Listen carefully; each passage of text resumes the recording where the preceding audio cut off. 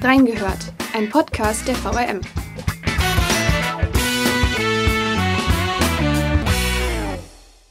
Die geplante Ultranet-Hochspannungsleitung von Nordrhein-Westfalen nach Baden-Württemberg sorgt im Itschner Land nach wie vor für Diskussionen. Bisher macht der Vorabenträger Amprion nämlich keinerlei Anstalten, die Vorschläge besorgter Bürger und Lokalpolitiker in Erwägung zu ziehen. Wir haben reingehört. Herzlich willkommen zu einer neuen Folge Reingehört. Ich spreche heute mit Volker Stavenow, seit 1989 Reporter in der Bezirksredaktion in Idstein. Hallo Volker. Guten Tag, hallo Laura. Es geht um die Energiewende, um erneuerbare Energien, konkret um eine 340 Kilometer lange Stromtrasse von Osterrad in Nordrhein-Westfalen nach Philipsburg in Baden-Württemberg. Volker, wie lange begleitet dich das Thema Ultranet schon? Also das Thema Ultranet begleitet uns schon einige Jahre. Als es vor hm, zwei, drei Jahren aufkam, war das für viele Menschen hier noch äh, ziemlich unbekannt. Sie wussten gar nicht, was hier geschehen soll. Aber mittlerweile ähm, haben die Bürger auch mit Bürgerinitiativen das Thema aufgearbeitet und wehren sich gegen die Pläne von Amprion. Amprion ist äh, praktisch die Firma, die dieses Projekt hier bei uns umsetzen soll und wehren sich gegen ähm, die, den Trassenverlauf. Wir hatten im April ja schon eine erste Folge zu dem Thema Ultranet, damals mit dem Bezirksredaktionsleiter Sascha Kircher. Durch die Corona-Pandemie hat sich damals der Planungsentscheid auf nach Ostern verschoben. Was hat sich seit April getan? Also was ist der aktuelle Stand des Projekts? Ja, der aktuelle Stand ist, dass ähm, die ähm, heimischen Gemeinden wie auch die anderen entlang der Strecke betroffen sind bei uns. Ich will das nochmal sagen, die Stadt Idstein mit, dem, mit der Kernstadt, ähm, der größte äh, Stadtteil Wörsdorf, dann Niedernhausen, unsere Nachbargemeinde und äh, unsere Nachbargemeinde Hünstetten mit dem Ortsteil Wallrabenstein. Diese äh, drei Gemeinden haben in Limburg ihre Statements abgegeben. Ähm, die gehen an die Bundesnetzagentur und wird, werden dort bewertet. Inwieweit jetzt diesen Vorschlägen aus den Gemeinden Rechnung getragen wird, ist völlig offen. Ähm, viele Bürger, auch die Bürgerinitiativen, es gibt einen in Idstein, in Niedernhausen und auch in Hünstetten, befürchten, dass eben diese Anregungen gar nicht zur Kenntnis genommen werden, sondern dass praktisch der Trassenverlauf von Amprion durch, durchgezogen wird, der von vornherein geplant ist. Dazu hat es ja auch heute einen Artikel in der Hitchener Zeitung gegeben. Ähm, was ist denn da genau der Hintergrund so? Also es wurde ja ein offener Brief an den äh, Bundeswirtschaftsminister Peter Altmaier gestellt. Was ist da der Hintergrund? Ja, das ist genau das, was ich eben sagte, nämlich, mhm. dass die Bürgerinitiativen befürchten, dass ihre Vorschläge verpuffen ähm, vor, der, vor dem äh, Hintergrund der Wirtschaftlichkeit dieser Trasse ähm, gefordert wird, am liebsten von allen die Erdverkabelung, was natürlich sehr teuer ist ähm, und deswegen auch nicht durchgeführt wird. Das ist eigentlich schon ganz klar. Ähm, das Problem ist, dass äh, die Ultranet-Trasse eine Gleichstrom- und Wechselstromanlage äh, auf einer Bespannung, also auf einem äh, auf einer Trasse, das gab es noch nie. Das ist völlig neu und die Auswirkungen sind auch völlig, sind gar nicht absehbar. Und die Leute haben Angst davor. Es ist einfach so, die Befürchtungen sind da, dass das gesundheitliche Auswirkungen hat. So. Ähm, angesichts dieser Sachlage versuchen sie eben, das zu ändern. Dass die Trasse eben nicht nah an den Wohngebieten vorbeigeht, dass nicht Bestandstrassen, die, schon hier sind, genutzt werden, die nah an Wohngebieten vorbeigehen, sondern dass das geändert wird. Wie? Ähm, vor allen Dingen setzen die Gegner dieser Trasse auf Verschwenkungen, auf kleinräumige Verschwenkungen. Das heißt, eigentlich nehme ein Beispiel, den Idsteiner Gensberg, das ist ein Wohngebiet hier oben ähm, in Idstein, ähm, ist unmittelbar betroffen. Also äh, dort soll eine Verschwenkung einsetzen, dass dieses Gebiet umgangen wird. Und äh, da ist bisher noch nicht zu sehen, dass das eingängig ist bei Amprion. Dasselbe gilt übrigens auch für Wallrabenstein in Hünstetten. Dort haben Bürger, Bürger sich hingesetzt und haben eine Alternativ-Verschwenkungstrasse ausgearbeitet, die wirklich äh, annehmbar ist. Ja, auch das wurde übrigens eingereicht. Dasselbe ist in Nierenhausen passiert. Auch dort möchte man mit einer Umgehung von Wohngebieten ähm, mögliche gesundheitliche ähm, Schäden bei Menschen ausschließen. Wie behält man denn bei einer solchen komplexen Thematik überhaupt den Überblick? Das ist sehr schwierig, das ist sehr schwierig, aber wir als Journalisten ähm, wägen ja ab. Wir haben viele Quellen. Das sind natürlich auch die Quellen der Bundesnetzagentur, Amprion, aber auch der Bürgerinitiativen, der, der Experten, ähm, die daran arbeiten. Und wir müssen versuchen, aus diesem, ich nenne es mal, Stromtrassendickicht ähm, ähm, etwas herauszubekommen, was die Menschen auch verstehen. Darf ich ein Beispiel vielleicht nennen? Sehr ähm, gerne. Es ist eigentlich ganz einfach.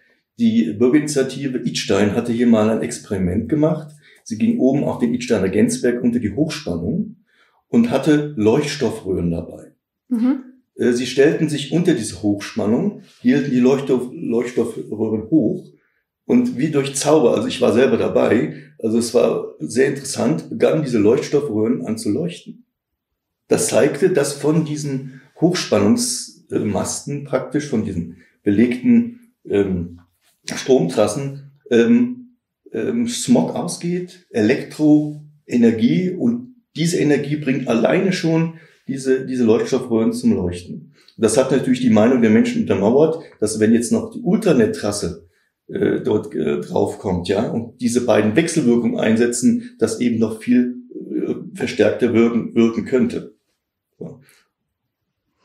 Ähm, es gibt ja verschiedene Akteure in diesem dieser Thematik. Ähm, erstens die Politik, die Bürger, die Stadt, ähm, aber eben auch auf der anderen Seite Amprion und ja auch die Notwendigkeit, die erneuerbaren Energien auszubauen, was ja dann auch die Schwierigkeit beinhaltet, wir wollen erneuerbare Energien, aber wir wollen nicht, dass es bei uns im Prinzip ist, nicht da gebaut wird.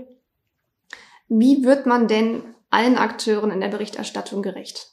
Naja, also wir sind ja der Neutralität verpflichtet und das versuchen wir auch und das schaffen wir auch täglich in unseren Berichten, sonst wären wir sicherlich schlechte Journalisten, wenn das nicht gelänge. Ähm, wir müssen alle Meinung darstellen, sowohl auch Amprion als auch Bundesnetzagentur oder auch die Gegner dieses, dieser Trassen, dieses Trassensverlaufs. Ich möchte nur ganz klar sagen, die Bürgerinitiativen hier in unserer Region sind nicht gegen Ultranet. Sie verstehen natürlich, dass äh, Energie von Nord nach Süd gebracht werden muss mit wenig Energieverlusten. Aber sie möchten nicht, dass das auf Kosten ihrer, äh, ihrer Bürger entlang der Trasse gehen. Sie möchten, dass diese Bürger geschützt sind. Also fordern sie diesen Abstand und die Verschränkungen. Wir selber ähm, haben Folgendes gemacht. Wir haben ein Reportermobil, das in den jeweiligen Orten mal Station macht. Dort werden Probleme äh, mit den Bürgern, mit den Bürgermeistern und so weiter besprochen. Wir haben sowohl in Idstein am Gensberg als auch in äh, Hünstetten-Walramstein immer direkt direkt unter diesen äh, Elektrotrassen ähm, dieses Mobil eingesetzt. Ich selber habe das moderiert und dort waren sowohl von Amprion als auch von der Gemeinde, aber auch von den Bürgerinitiativen Menschen, die das diskutiert haben. Auch mit den Anwohnern. Also so versuchen wir in der Öffentlichkeit aufzuklären und versuchen, dass alle Meinungen gleichmäßig auch äh, ähm, äh, zum Tragen kommen.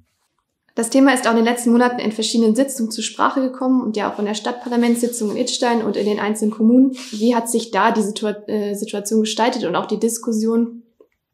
Wie sind die Menschen darauf eingegangen? Ja, also das äh, Thema wird immer wieder diskutiert, weil es eben ein wichtiges Thema ist und auch bleiben wird. Ähm, das ist nicht absehbar, wann das endet. Ähm, in allen drei betroffenen Gemeinden stehen sowohl die Politik als auch die Bürger dahinter, dass eben diese Verschwenkungen gebaut werden müssen. Ähm, natürlich sagen alle, sie möchten die Erdverkabelung, das habe ich schon gesagt, das wird aus meiner Sicht nicht kommen, weil es einfach zu teuer ist. Das wäre natürlich auch die beste Lösung, wahrscheinlich, nach Lage der Dinge. Äh, noch besser sagen die, äh, wird in den Kommunen gesagt, ist die Verlegung der Trasse links des Rheines, also nicht auf unserer Seite. Warum? Weil dort eben wohl weniger Besiedlung entlang der Trasse ist und auch mehr, mehr Natur und Wald zumindest, das sagen wir, der kleinste Faktor, wo alle dahinter stehen, sind die Verschwenkungen der Trasse. Weg, wie ich sagte, weg von, von der Bebauung hin äh, ähm, auch an den Waldränder und dann wieder zurückgehend auf die Trasse, wenn es eben äh, umgeleitet ist von den Wohngebieten. Das ist überall Konsens. Das ist überall Konsens. Die Frage ist nur, ähm, die Frage ist nur, ob das auch insgesamt so kommen wird. Es ist ja auch eine Kostenfrage, das ist ja eine ganz, ganz klar. Entlang der Strecke wird geklagt. Ähm, man will das alles nicht mehr. Das kostet dann richtig Geld, die Verschränkung zu machen. Und darum kann ich mir vorstellen, dass Amprion, die Bundesnetzagentur, sagt, hm, ähm, nee, wir müssen versuchen, auf den Bestandstrassen äh, das auch zu verlegen.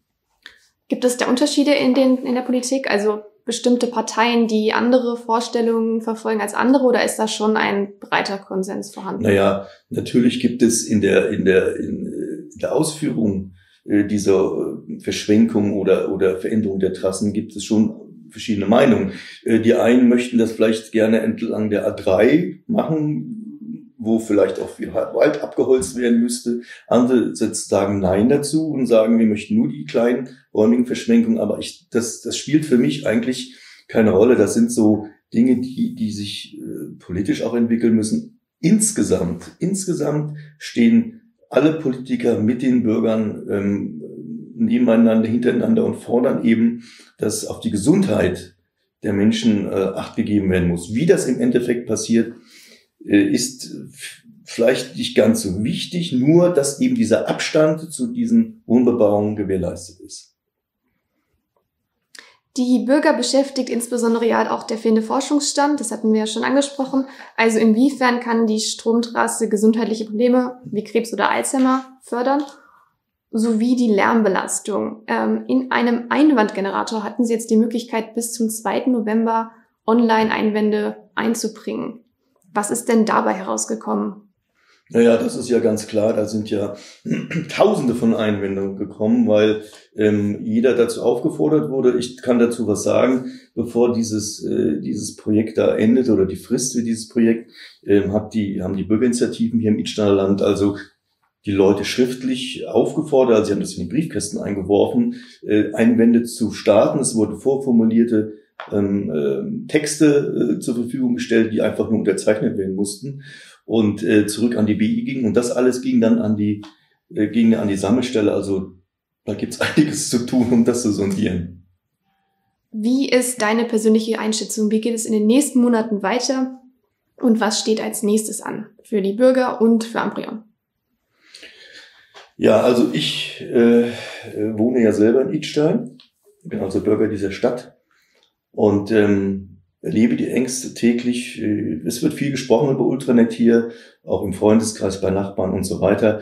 Also ich hoffe, dass die äh, Politik ähm, in Berlin, aber auch die Bundesnetzagentur in Bonn äh, diese Ängste wirklich ernst nimmt, weil die sind da. Und ich bin der Meinung, man kann so ein wichtig, für Deutschland wichtiges Projekt nicht ähm, ohne die Bürger mitzunehmen durch, durchsetzen. Also man muss die Bürger davon überzeugen, dass es wichtig ist, dass wir das brauchen, aber auch, dass ihre Sicherheit äh, an dieser Trasse ebenso wichtig, ihnen auch ebenso wichtig ist, gewährleistet ist. Wenn das nicht passiert, wird es zu einer Welle von äh, Demonstrationen und vor allen Dingen, äh, das dürfen wir nicht vergessen, von Klagen kommen. Ähm, die Stadt Idstein hat genau wie die Gemeinde Nierhausen und ähm, und Hünstetten gesagt, wenn wir mit unseren Vorschlägen nicht gehört werden, wenn es so kommt, dass Amprion und die Bundesnetzagentur ähm, einfach, sagen wir mal, salopp gesagt, ihr Ding durchzieht, dann werden alle klagen. Und das machen natürlich nicht nur diese drei Gemeinden, das machen alle Gemeinden entlang dieser, dieser Ultranet-Trasse. Und das wird dieses Projekt so verzögern und so verlängern ähm, auf Jahre. Und ich weiß nicht, ob äh, die Bundesnetzagentur sich das leisten will und kann. Also muss man versuchen, ähm, einen Konsens zu finden. Und der liegt einfach darin, ähm, Geld zu investieren und in die Sicherheit der Menschen Geld investieren und diese Vorschläge auch umzusetzen, die die Bürger und Gemeinden haben. Wenn es sich verzögert, ist ja auch auf Dauer die Stromzufuhr überhaupt nicht gesichert mehr. Bis 2022 die Kernkraftwerke vom Netz gehen sollen und wir keine Alternativen haben, dann gibt es irgendwann keinen Strom mehr zur Verfügung. Das wäre ja auch auf jeden Fall nicht im Interesse der Politik und auch nicht im Interesse von den Stromanbietern. Du hattest es jetzt schon ein bisschen angesprochen. Du bist selbst Itsteiner und natürlich damit auch selbst von der Thematik betroffen. Wie schafft man es, in so einer Situation einen neutralen Blick zu behalten als Journalist? Ja, das ist, das ist kein Problem. Also ich meine, das, ich bin jetzt so lange schon ähm, Journalist. Ähm, da muss man trennen. Also äh, die eigenen Ideen und die eigenen äh, äh, Argumente, die man hat, sind das eine, aber wenn man hier arbeitet, muss man einfach das äh, alles sehen. Also es, ich kann jetzt nicht hingehen und einfach nur einseitig berichten, das machen wir auch nicht und äh, das wäre unmöglich, dann würden wir unser Gesicht als Zeitung hier vollkommen äh, verlieren. Nein, das muss ausgeglichen sein, darum habe ich ja gesagt, zu den ganzen Erörterungen, äh, zu, den, zu der Berichterstattung, da war immer Amprion und immer die Bundesnetzagentur genauso äh, mit den Argumenten dabei wie Initiativen und Gemeinden. Und damit, liebe Hörer, sind wir schon am Ende unserer neuen Folge. Vielen Dank, dass ihr alle reingehört habt. Wenn ihr mehr zum Thema Ultranet erfahren wollt, findet ihr Texte im Dossier Ultranet elektrisiert das Edsteiner Land auf unserer Website. Den Link dazu packe ich euch auch noch in die Show Notes. Da könnt ihr euch dann einfach noch mal ein bisschen durchklicken und informieren. Ansonsten hört euch natürlich die Reingehört Folge 2 an mit Henry Solter und Sascha Kircher, ebenfalls zum Thema. Und wenn ihr Fragen, Anregungen oder Vorschläge zum Podcast habt, könnt ihr die uns gerne mitteilen. Entweder auf Instagram, bei Facebook oder per E-Mail. Ich sage danke und bis zum nächsten Mal.